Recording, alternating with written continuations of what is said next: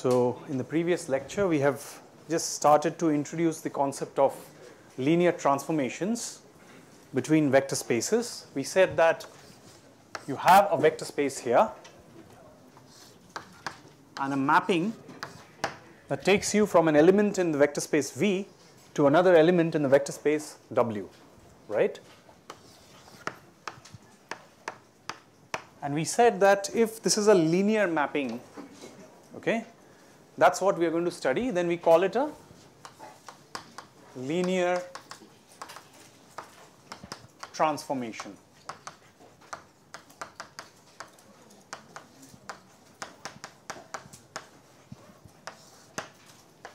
Now we saw that this object came into being, at least in our discussions, the motivation of this object came from matrices.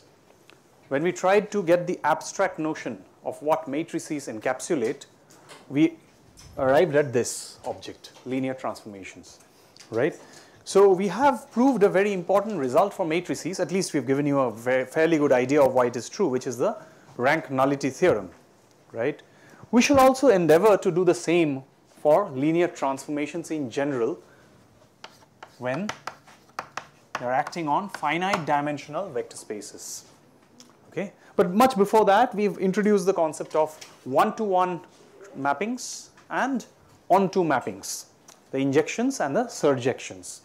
So let us try to understand what injective maps entail and what surjective maps entail. What is an equivalent condition to check in the language that we've defined so far, what is an equivalent condition to check whether a given linear transformation is injective?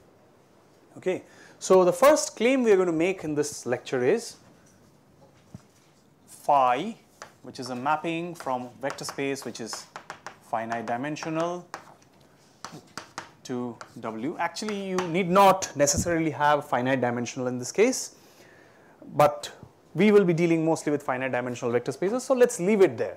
But in general, the result that I'm claiming is this, is injective. This is equivalent to the condition that the kernel of phi is spanned just by the zero vector of the vector space V and nothing else, right? So this is the first claim. So if you're given a linear transformation between two vector spaces and you want to figure out if this linear transformation is one to one, then you better try and investigate what the kernel of that linear transformation contains.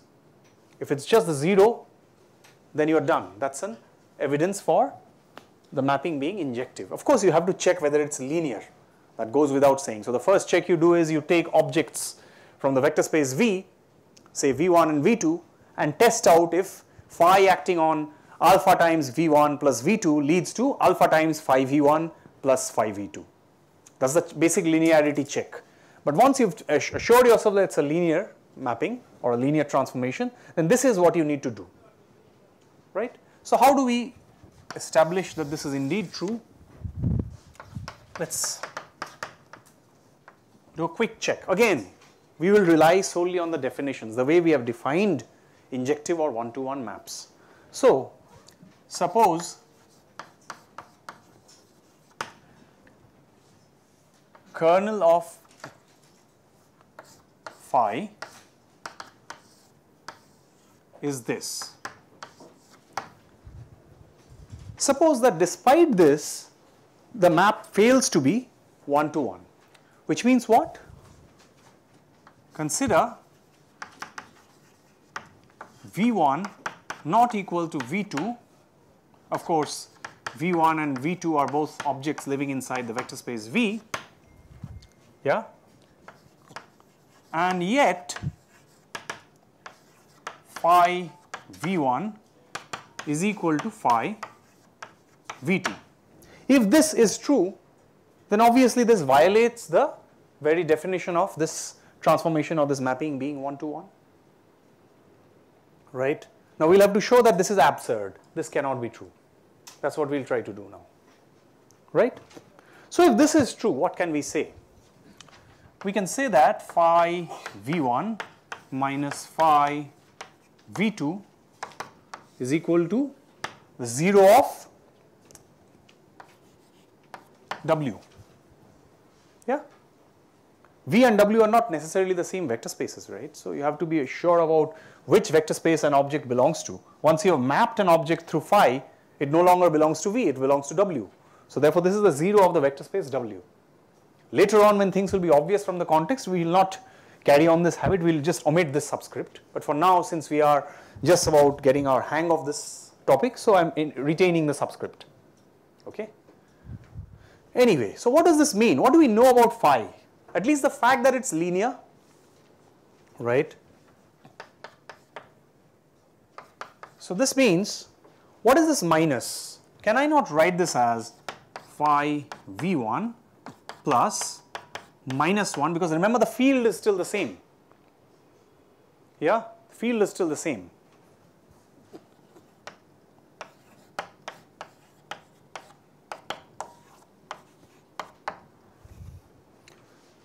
But now because of the linearity, this is just a scalar. So I can push this inside. Yeah, so there will be two steps of linearity being invoked. First, phi v1 plus, sorry, phi of minus v2 because again minus 1 times v2 is minus v2.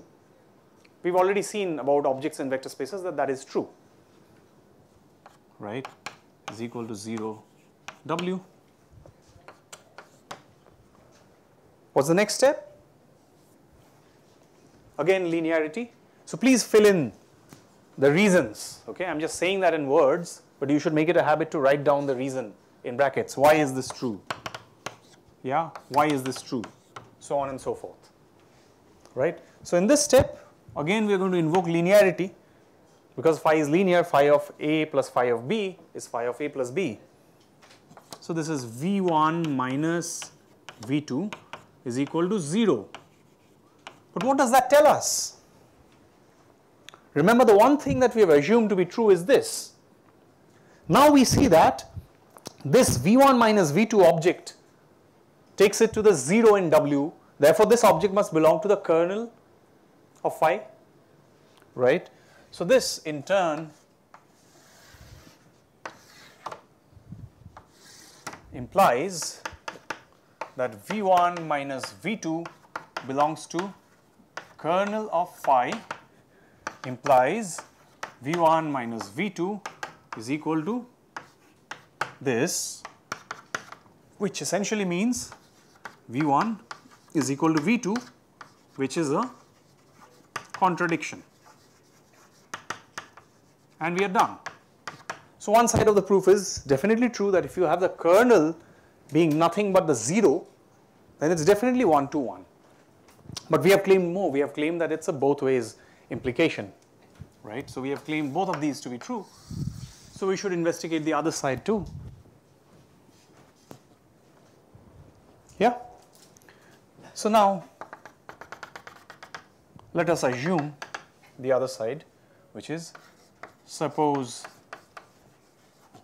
phi which is a mapping from V to W is 1 to 1, all right. But now, for any linear map, what can I say about the following object?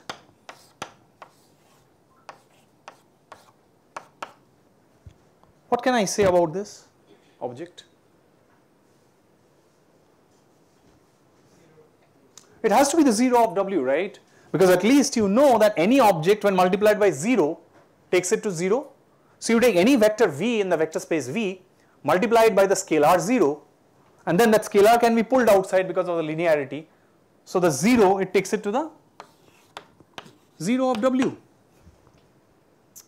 right? Suppose V which is not equal to the 0 of V but of course belongs to the vector space V also belongs to kernel phi. Is that possible? Because I am saying that this is one to one and this is true for any linear map. Nothing to do with one to one or anything. This is just true of any linear map. Now, once I have found one object that takes me to the 0 of W, because of the one to one nature, because of the injection or injective nature of phi, can there be any object other than this which also takes it to w, uh, 0 of W? It cannot, right? Because then it would violate the one to one condition. Yeah. Due to injection, yeah, V must be equal to 0 V, which is again a contradiction. So it's indeed an if and only if condition goes both ways, right? Which is why this is useful. Because how many objects are you going to check? And look, I, as I said earlier, this finite dimensional thing it never really entered the picture. Of course, I have just written FDV as finite dimensional because mostly we will be dealing with that. But in general, this is true. Nowhere have we invoked any restriction on the dimensionality of this uh, vector space V, right? So maybe I can also get rid of it if you don't like it. Okay. So this is an equivalent condition for a one-to-one -one map that the kernel must be nothing but the trivial subspace, right? Next claim, again about this phi, which is a mapping from V to W is surjective. This is if and only if well, this is quite straightforward. There's really nothing to prove here. This is just a definition. Can you guess what this is? Sorry? What should this be? It should be W, right? That's the very definition. There's nothing to prove actually in this. What is surjectivity? What is this onto nature? if you pick out anything in W, it must have a pre-image in V. So that means it must come through some mapping of some object in V through phi. So every W that you pick out is related to some V through that linear mapping. So therefore, it definitely belongs to the image, right? And by de default, of course, this is contained inside this whether it's surjective or not, you're mapping something from V to W. So whatever is the image of this phi is definitely contained here. So the other way around is I have to show that this is also contained in the image of phi. But that follows from the very definition of the onto mapping. Because anything that I pick out from here, I'll be able to find a pre-image and therefore if I pass that pre-image through phi, I will get that object back. So therefore it is definitely contained within the image of phi. So there is both way containment therefore of course this is true. So I am not really going into the proof of this. If you want to satisfy yourself you can just write a couple of lines there, right. There are two steps basically. One is an obvious observation that this is contained inside this. That is also from definition and the second from the definition of surjection this is also contained inside this. Yeah. So in other words if you want to check whether a map is one to one try to figure out if this is true. If you want to check whether a map is onto, try to check out if this is true. Alright. Now we will see something very interesting particularly for finite dimensional vector spaces but before that we want to get a more sophisticated and this time I am not just going to give you a hand waving or a sketchy proof but rather a more concrete proof of the rank nullity theorem. And we will see that it is not just true of matrices but it is true of this general class of things that we have now defined as linear transformations. Matrices just happen to be one such class of linear transformations, right? Any questions? This is clear? Okay. So here goes the rank nullity theorem.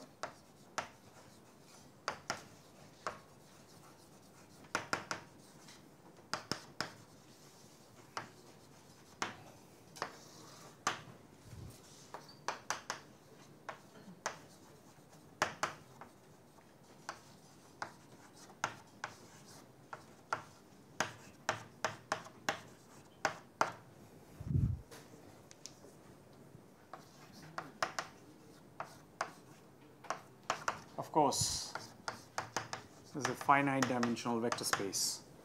All right. Dimension of V is equal to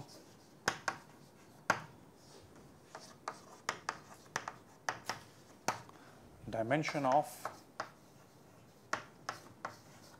the kernel of phi plus dimension of the image of phi, right? Quick remark, just go ahead and think about matrices, right? So, what will you have to substitute this by? This is an m cross n matrix, yeah? What is this? f to the n, n tuple. This is f to the m, m tuple. So, what is this? N, right? n. This is just that dimension of the kernel, dimension of the null space, which just we've seen, it's of course of that matrix. And what is this dimension of the image? It's the rank, right? It's the column rank, but we've seen that the column rank and the row rank must be the same. So this is indeed what we call as the rank of the matrix. This is the nullity of the matrix, the dimension of the space from which you're picking out objects and passing through the matrix. Yeah, you're allowing the matrix to operate on objects inside V. So the same thing is what this phi is doing, right? So we are now going to try and prove this.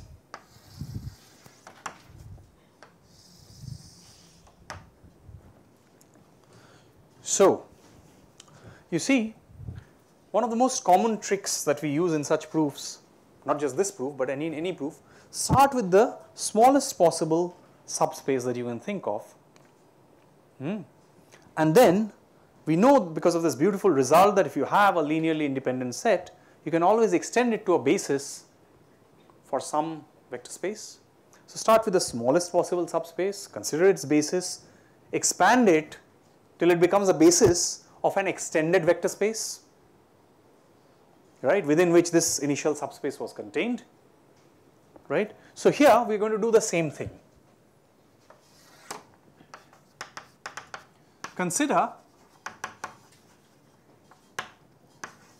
B1 is equal to say V1, V2 till Vk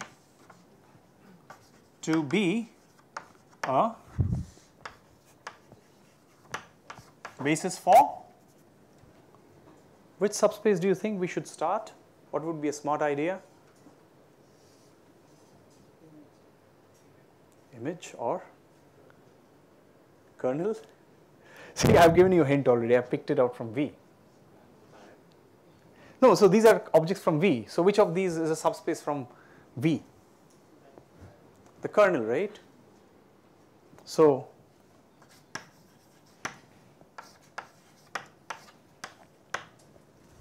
Okay. So immediately I have told you this is a linearly independent set and the dimension of the kernel is k. You will begin to see the similarity as we proceed with this. All right. Extend B1 to be a basis for what? V. V. So that B1 hat is equal to V1, V2 till Vk, V hat k plus 1 continued till let us say the dimension is n of V, right. So, let us say the dimension of V is n. So, we have V hat n. is a is the required basis. So we have the numbers you see by our very definition. If you just think about it, just think of it like some problem that you are given. Don't think about it some major problem, major theorem in linear algebra. Just think about it like a problem. We have the numbers with us. We already have the number k here. We have the number n here. What we need to show is that the number n minus k must correspond to this and we shall be done, right? So just what do you think like pops at you from this board as a potential, you know, candidate for a basis for image of phi? First of all, how many objects need to be there in the image of phi? n minus k. So what sort of an object do you think makes a strong claim as a good candidate for this image of, uh, for the basis of image of k phi? Sorry? But these are objects in V. Image of phi, where does it come from? W. So in and of themselves, these objects do not certainly uh, prove to be worthy candidates for elements in the basis of image of phi, right? So what kind of objects could be possibly considered phi of Right. So it immediately suggests to us that probably a good guess would be if I map these last n minus k objects from this and I try to show that that is a candidate for the basis, maybe I'll have some luck. Okay. So you, you're, you're convinced that once I have shown that, there's nothing really to prove in this rank nullity theorem. So I'm going to just bring that down to a, another claim. Okay. So the claim is uh, since okay B defined by phi of v1 hat sorry v k plus 1 hat right sorry k plus 1 hat k plus 2 hat. Uh, k plus 2 hat. Until phi v hat on n. Is a basis for image of phi. If I am able to prove this claim, I would have shown you the proof for rank nullity theorem. If I want to show that this is true, I need to show two things. One, that this is a generating set for the image of phi and two, that this is linearly independent, right. So, consider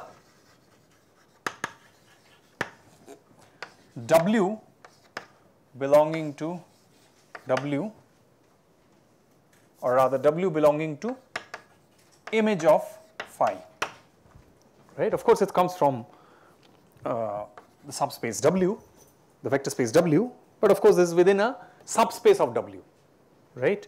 This means there exists V such that phi of V is equal to W. Yeah. Which means this V can be written as what exactly? Phi summation i going from 1 to k alpha i vi plus summation i going from k plus 1 to n alpha i vi hat right any object in vector space v is a linear combination of the objects in its basis and the uh, basis for v has been shown to be that set uh, b1 hat as I've defined it there. So this is true. Now if I use the linearity property of this, what happens to these fellows? These are all objects in the kernel, so they vanish, don't they? So this implies that W is equal to summation i going from k plus 1 to n alpha i vi hat, right, which is contained in the span of the set I was looking for. Let's just use the notation we have introduced. Yeah. So this is a generating set. No doubt about that, right? Yes. So it's a generating set. At least the set B is a generating set. And now we need to show linear independence, right? So consider summation beta i, i going from k plus 1 through n phi of vi is equal to 0. What I need to show is that all these beta i's must identically vi hat, is it not? Yeah. What I need to show is that all these beta i's must vanish. That's the only way that this is possible. If this set has to be linearly independent, then a linear combination of this can only be 0 if it's a trivial, trivial linear combination. Right? So what does that mean? That means by the linearity of this map, phi acting on summation i going from k plus 1 to n beta i vi hat is equal to 0. See, I have already dropped the subscript here. This is of course a 0 of the w, right? If need be, you can just put that w back in. But what does this mean? This means that summation beta i vi hat belongs to kernel phi, right? So what can we say about this object? I going from 1 k plus 1 through n. This object, let me box that in color. This object belongs to the kernel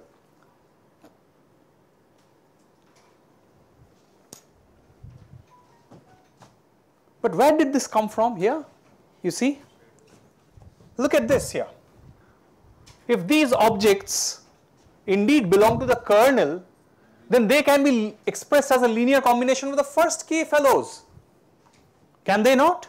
Because the first k fellows in that set B1 hat constitute exactly a basis. See, look at this B1 here. It's a basis for the kernel.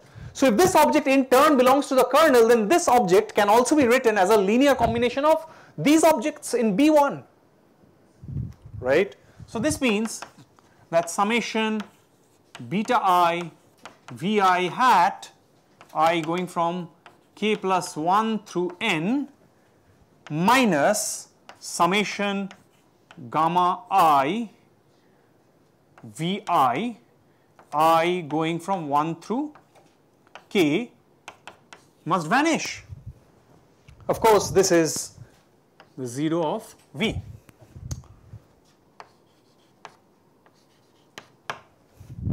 right? But what does that mean? This is a linear combination of a linearly independent set of vectors. So if this is a linear combination of a linearly independent set of vectors which vanishes, each of these coefficients gamma i's and beta i's must vanish. I don't care about the gamma i's really, but what matters is that the beta i's must identically vanish, right? So let me just go about this beta i must be 0 for all i is equal to k plus 1, k plus 2 till n, right? Which means that not only is this set a generating set for the image of phi, but it's also a linearly independent set, which essentially then means that it is a legitimate basis for the image of phi. If it's a legitimate basis for the image of phi, then the dimension of the image of phi is n minus k. So this object is n minus k. This by our choice is k. Sum thereof is n, which is again by our choice and our definition. Right? So this is the rank nullity theorem, the proof of the rank nullity theorem. This? Yeah? Yeah. This? Yeah. Because this object when phi acts on it, takes it to 0. So that means that's a classic definition of the kernel. Any object which when acted upon by a map takes it to 0, is taken to 0, definitely must belong to the kernel of that map. So by the definition of the kernel, this object must belong to the kernel.